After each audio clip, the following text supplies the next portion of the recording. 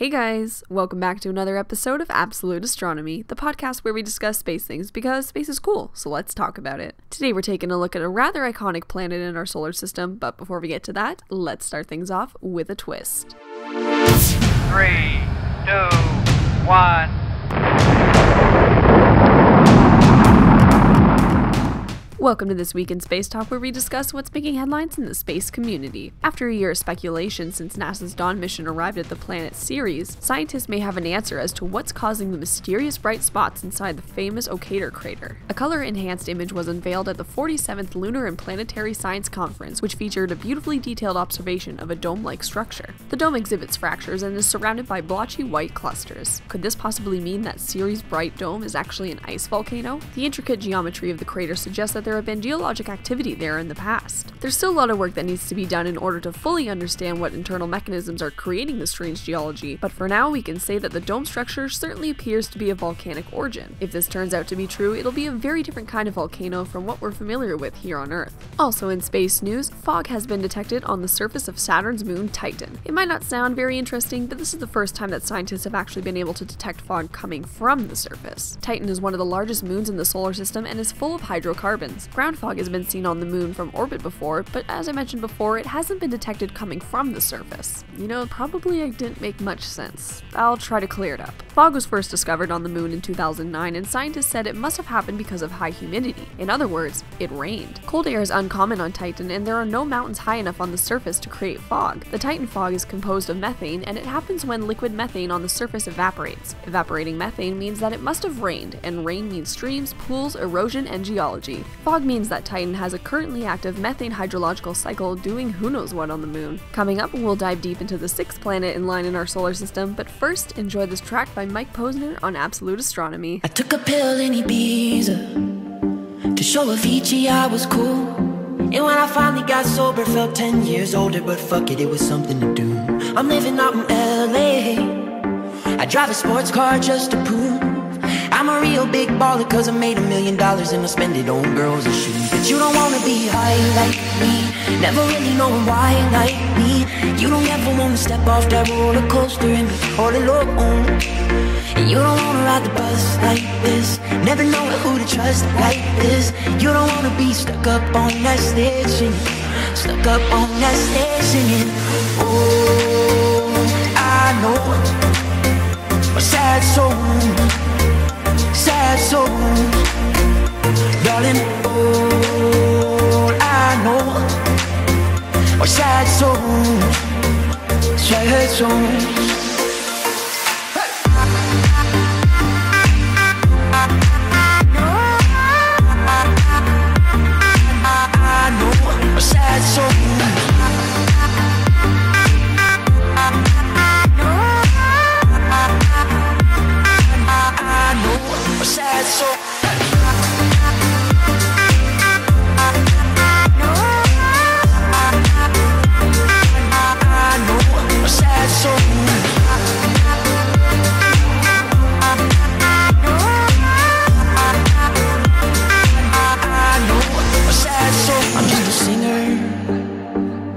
already blew his shot. I get along with old timers cause my name's a reminder of a pop song people forgot. And I can't keep a girl, no. Cause as soon as the sun comes up, I cut them all loose and work's my excuse. But the truth is, I can't open up. And you don't wanna be high like me, never really knowing why like me. You don't ever wanna step off that roller coaster and be all alone. And you don't wanna ride the bus like this Never know who to trust like this. You don't wanna be stuck up on that stage singing. Stuck up on that stage singing. Oh, I know. Sad soul Sad soul Darling, all I know Are sad souls Sad souls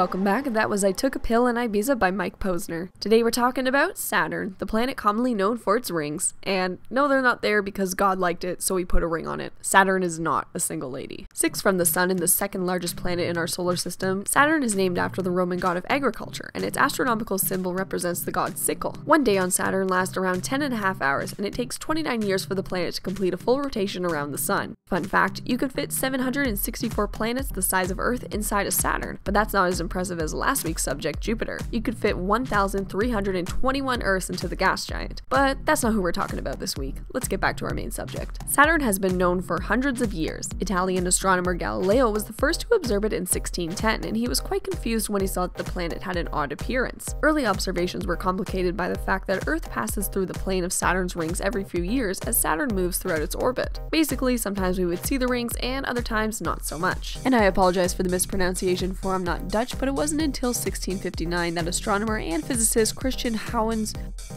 Huygens, Huygens, I'm not too sure how to say it, but you get the idea. He gave corrections about the geometry of the rings. Saturn's rings remained unique throughout the solar system until 1977 when it was discovered that Uranus, Jupiter, and Neptune also had faint rings around them. But let's be honest, when someone asks you which planet has rings, your first instinct is to say Saturn, right? Saturn's interior consists of a core of iron, nickel, and rock materials. The core is surrounded by a deep layer of metallic hydrogen, then a layer of liquid hydrogen and liquid helium, and an outer gaseous layer. Saturn has a pale yellow appearance due to the ammonia crystals in its upper atmosphere. Electrical currents within the metallic hydrogen layer is thought to increase Saturn's magnetic field, which is weaker than Earth's, but due to its size in comparison to ours, it has a magnetic moment 580 times greater. I guess size really does matter. So let's talk rings. Saturn has a giant ring system that consists of nine continuous main rings and three discontinuous arcs that are mostly composed of ice, rock debris, and dust. The rings are thought to be leftover pieces from comets, asteroids, and shattered moons. They can range in size from a grain of sand to a giant house. The gravity of Saturn holds these rings in place along with the assistance of some of the moons, which are referred to as shepherd moons. The largest ring has a span 200 times the diameter of the planet, and the main rings are generally around 30 feet thick. Some rings are very close together, others have several thousand kilometers in between them. The rings are named alphabetically in the order in which they were discovered. I'm not going to tell you them because A, I'm lazy, and B, I would be rambling on, so if you're really curious, head on over to the Google machine and see what you can find. Fun fact the outermost ring could fit a billion Earths within it. Now, Jupiter doesn't seem so impressive, huh?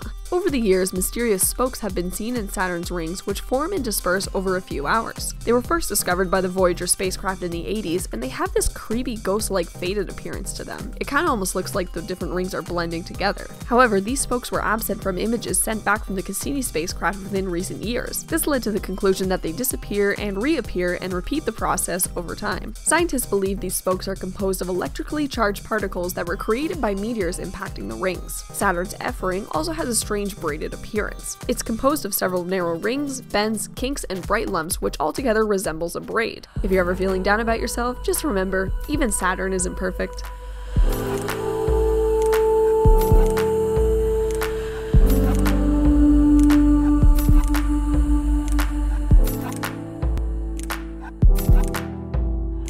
Love is a burning thing, and it makes a fiery rain.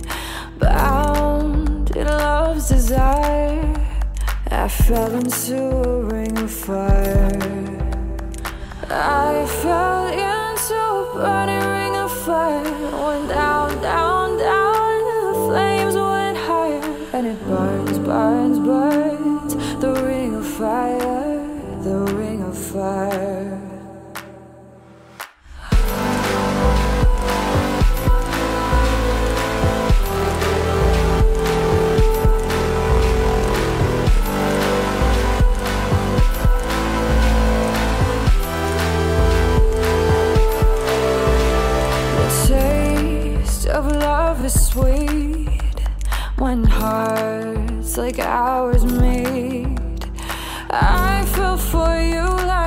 child. Oh, but the fire went wild. I fell into a burning ring of fire. Went down, down, down, the flames went higher. And it burns, burns.